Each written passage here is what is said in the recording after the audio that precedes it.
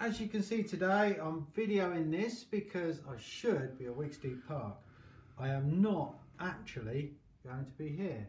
So I'm going to show you a lesson and I'm going to put it on the Growjos so it's posted up somewhere and it'll be on a YouTube clip as well.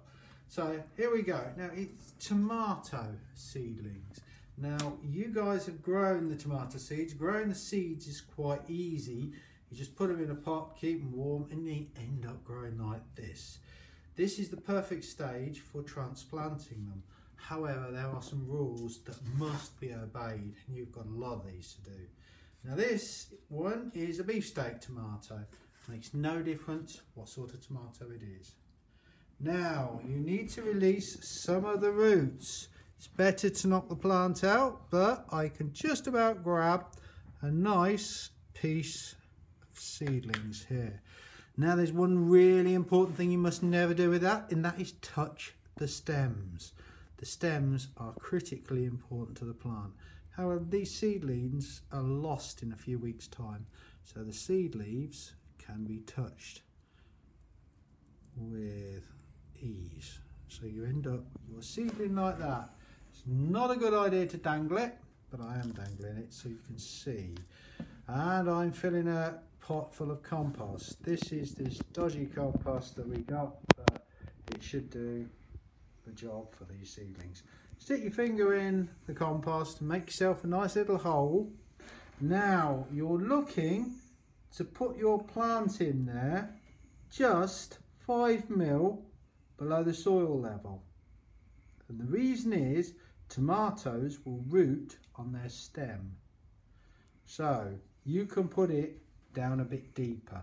They don't mind at all and these are a bit leggy so it would be a good idea if they were a bit deeper.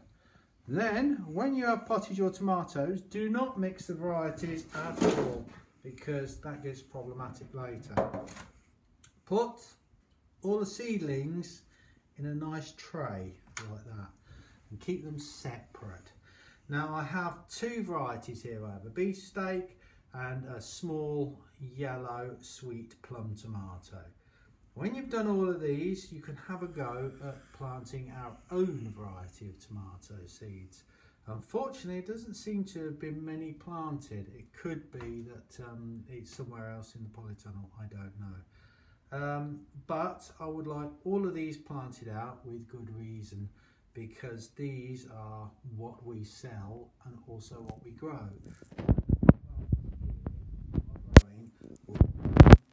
Very tall. Now, we put them in the raised bed in the polytunnel and the raised bed has strings coming from the roof.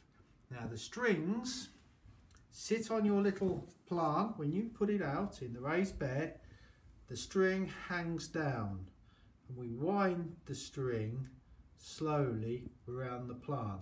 So as the plant grows it uses the string for support. We never tie the string to the plant, we just wind it. So it's a case of finding the little head of the plant and turning it round the spring string as it grows. And then it grips on and it'll go all the way to the greenhouse roof. Now this is important with tomatoes because we need it to support the trusses. Now the trusses are the bunches of the tomatoes. Now that's most important because they're too heavy for the plant. They will rip the plant to shreds.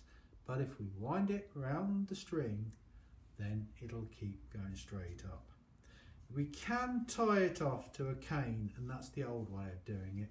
However, we're not really allowed canes in school, so there you go, we use strings instead. Now, if you can do all that for me, that will be great.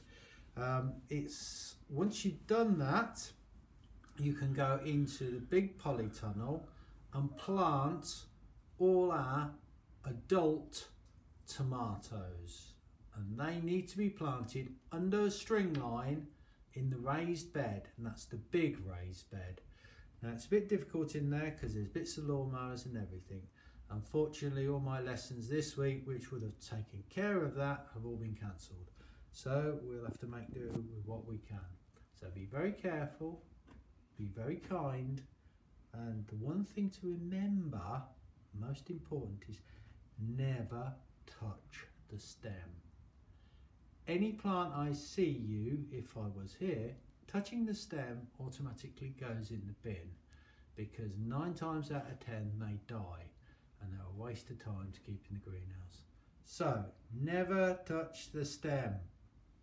Okay, that's today's lesson. I hope you have fun doing it and whoever's with you, I hope they have fun as well. It's Vince here signing out.